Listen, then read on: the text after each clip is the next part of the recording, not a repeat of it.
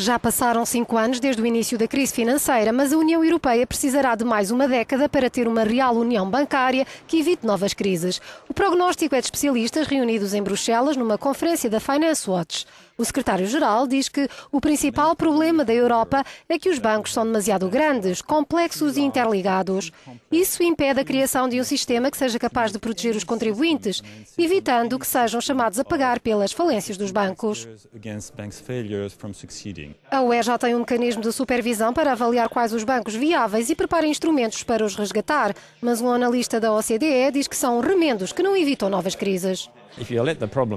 Para enfrentar um problema que surge, é bom ter um mercado único, uma autoridade para salvar bancos e um fundo de resgate. São instrumentos para lidar com o problema que está à nossa frente e custam muito dinheiro, mas o essencial seria impedir que se chegue a essa situação. O ideal é separar a banca de retalho para famílias e empresas daquela que faz especulação financeira. Na verdade, menos de um terço do setor, que movimenta 46 bilhões de euros, trabalha para a economia real. O académico Walter Matley diz que os grupos de defesa do consumidor têm de ter mais poder e têm de usar esse poder para influenciar os legisladores desde o início, senão será tarde demais.